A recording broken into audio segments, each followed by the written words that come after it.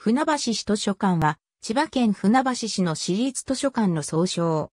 船橋市内では、4つの市立図書館と13室の公民館、市民センター図書室、2館の公民館の図書貸し出し返却窓口がオンラインで結ばれ、蔵書の取り寄せ貸し出し、返却を融通し合っている。他に、1台の移動図書館がある。船橋市中央図書館1983年10月1日、港町2丁目に開設。2000年7月7日、本町4丁目に建設された複合施設、ライブ2000の2.3階2点。船橋市西図書館2011年まで用いられていた西図書館の休館西線にある。1971年1月6日開館。かつては市の中央図書館であった時期もある。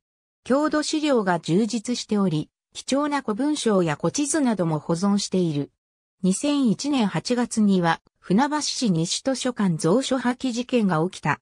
2011年3月に発生した東日本大震災で被災、安全確認のため3月30日より当面の間休館となった。その後、船橋市は現施設の再開が困難であることを認めて、代替施設の検討を行うことを表明。同年10月1日より、代替施設による業務が再開された。2016年10月21日に新館が開館した。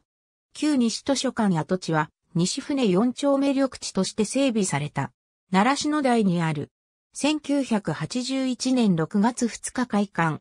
蔵書数が市内で最も多く、様々な分類の本が置いてある。船橋市郷土資料館にも近いため、郷土資料も充実している。奈良市の大公民館も図書館内に存在。ABCDEFGH 船橋市図書館サービス推進計画。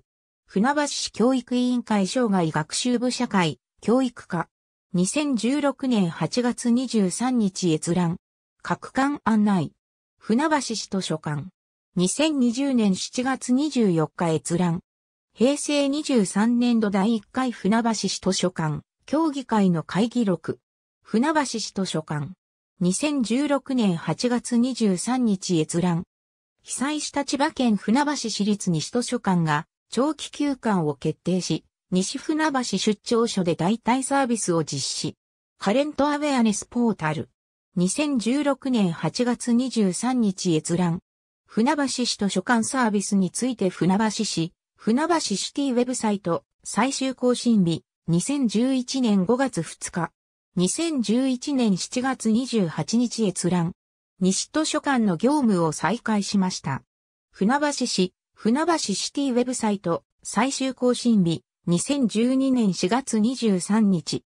休館中の西図書館本の貸し出し、再開震災影響、代替施設決まる船橋市、千葉日報オンライン版、2016年8月23日閲覧、西図書館リニューアルオープンに伴う一時閉館等のお知らせ、船橋市図書館、2016年8月23日閲覧、広報船橋平成28年10月15日号、船橋市、2016年11月6日閲覧、西船4丁目緑地。